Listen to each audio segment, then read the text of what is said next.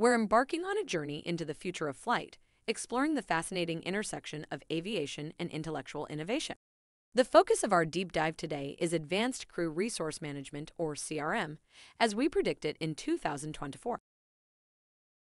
To begin, let's address the core question What is CRM? Born out of the 70s, CRM was a response to the finding that human error, primarily miscommunication and flawed decision making, were prominent contributors to aviation accidents. In the heart of CRM lies the human factors theory. Using Hawkins' model as a lens, we realize that having technical skills is only half the battle. The way humans interact with each other and with systems plays a critical role in high pressure situations, as those found in aviation. Fast forward to 2024, where we see a radical shift as we begin to integrate virtual reality into CRM training. It's more than just a technological step up, it's an application of Kolb's experiential learning theory. David A. Kolb's experiential learning theory, established in 1984, offers a pivotal framework for understanding how individuals learn from experiences.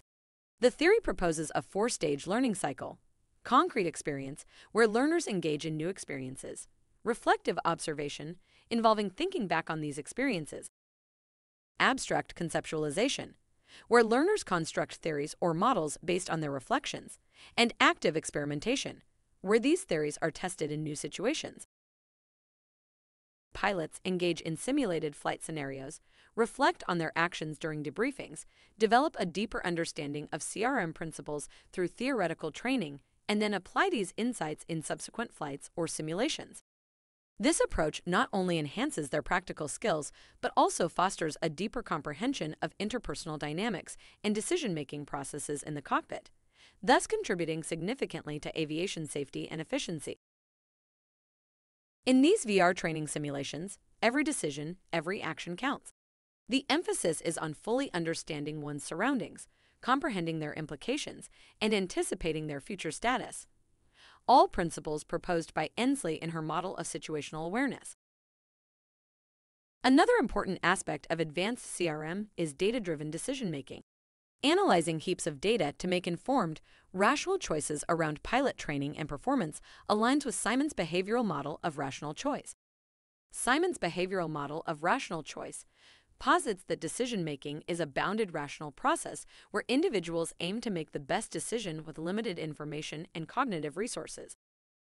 This model challenges the notion of absolute rationality, suggesting that people often settle for a satisfactory solution rather than an optimal one due to constraints in knowledge, time, and computational capacity. This is where data analytics transforms CRM. We're no longer guessing what pilots may need for better training. We're using data insights to highlight specific areas for improvement, tailoring training to the unique needs of individual pilots. Not to forget, diversity in this era is not just an option, it's a fundamental requirement. Here, the social identity theory by Tajfel and Turner operates as the backbone, including varied perspectives, from gender to cultural to experiential, enhances the whole decision making process. Evidence for this can be found in Chen et al.'s 2022 study on gender diversity in the cockpit. Diversity isn't just about policies, it's a strategic advantage in CRM, creating a breeding ground for innovation and problem solving through diverse viewpoints. Lastly, I want us to discuss weather aviation's ultimate adversary. In 2024, pilots are not just trained to face storms, they're trained to preempt them. This approach finds its roots in Lazarus and Folkman's stress coping theory. Stress is a result of an individual's perception of a situation being beyond their coping abilities, leading to psychological and physiological responses. This theory emphasizes the role of cognitive appraisal in determining how stress is experienced and managed, suggesting that coping strategies are selected based on this appraisal process. It highlights the dynamic and individualized nature of coping with stress, underscoring its relevance in varied contexts, including high pressure professions like aviation. Each simulated gust of wind, each drop of simulated rain acts as a lesson in resilience, adaptability, and foresight. It's truly CRM in all its glory. Training pilots not just to fly, but to conquer whatever challenges the skies might present.